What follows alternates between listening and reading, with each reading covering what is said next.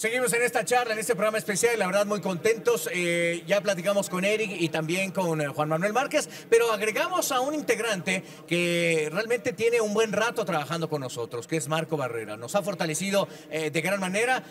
Marco, ¿cómo estás? ¿Cómo, ¿Cómo sientes hoy la llegada del que fuera tu rival durante mucho tiempo, pero al mismo tiempo ahora se convierte en un compañero para las siguientes transmisiones en Box Azteca? Cuéntame, bienvenido. ¿Qué tal, Carlos? Para mí, bueno, feliz, nunca pensé, compartimos el cuadrilátero entre ocasiones. Ahora vamos a compartir micrófono sábado con sábado. Yo creo que le vamos a poner la misma pasión que le poníamos eh, eh, eh, en las peleas. Amamos el boxeo. Ahora, de este lado, yo creo que vamos a intentar poner lo mejor, tanto Eric como yo, de, lo que es transmitir una pelea. ¿Qué sientes tú, mi Eric, ver a, un Marco Barrera, los dos ya en el retiro, pero los dos pensando en una carrera que, que va más allá y trasciende el ring, ¿no? Pues eh, me da risa.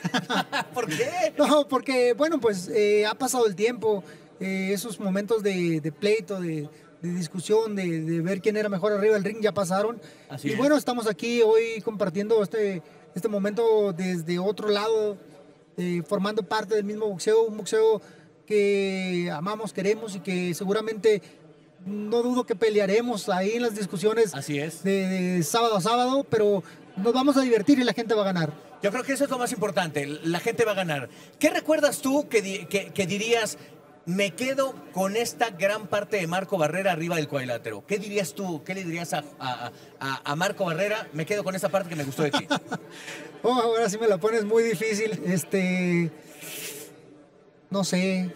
No, pues yo creo que la pasión y la entrega, ¿no? las ganas de, de siempre exigirte a, subir el nivel y el tono de, pelea, siempre de estar a tú a tú, siempre eh, hasta los rivales y los, los, todos los, aunque más se odien, eh, terminan respetándose, ¿no? Y creo, creo que el respeto que tuvimos arriba del ring era de, darnos 12 rounds durante tres peleas al 100% y pues así con no pude terminar contigo, pero bueno, el respeto, el respeto y, siempre la competencia.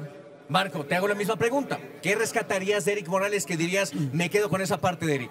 Bueno, yo me quedo con la entrega que le ponía acá, que nos enfrentábamos. Eh, me quedo con, con, su pegada respetable, que también eh, no me canso de decirlo a quien me pregunta, ¿quién de los que has peleado más duro te ha pegado? Eric Morales. He enfrentado a los mejores, pero creo que el que más duro me ha pegado ha sido él. ¿Y por qué no te caíste? Pues yo, creo que, yo creo que pensabas igual que yo, ¿no? Cuando peleábamos yo le decía a mi equipo, esta noche me puede ganar cualquiera, menos Eric. Yo creo que pensábamos lo mismo, entonces... Por más que me pegaba, más íbamos para adelante. Me quedo con, las ganas que le echó, porque gracias a, a esa trilogía ya formamos parte, eh, nos llevó al Salón de la Fama. Claro. De, la mano entramos por esa trilogía y, y, creo que la gente nos sigue recordando de una manera por los guerreros que fuimos arriba del ring. Bueno, lo que me está diciendo aquí el productor es que si no me equivoco, sus sillas van a estar juntas. Entonces, bueno, pues ahí, estaremos ya dialogando acerca del tema. Agradecemos mucho a Eric Morales, la verdad, Eric, bienvenido a este equipo. Muchas gracias. Eh, la verdad es que tu investidura como campeón del mundo y, tu forma de trabajar nos tiene muy contento y sobre todo, pues que te integres como parte de este gran equipo. Mil gracias, en verdad. Muchas gracias y aquí estaremos disfrutando con la gente. Y por supuesto, el agradecimiento absoluto a Marco Barrera. Está viviendo en un proceso muy importante, lleno de mucha integridad, de mucho corazón. Nuestro apoyo siempre contigo, Marco. La familia siempre será lo más importante. Un abrazo gigante para ti y tu familia. Sabemos que estás eh, saliendo adelante con esto y nuestras oraciones para ti y para todos ellos. Gracias, Muchísimas gracias, Carlos. Un beso a mi hermana Sandy, que le echo muchas ganas.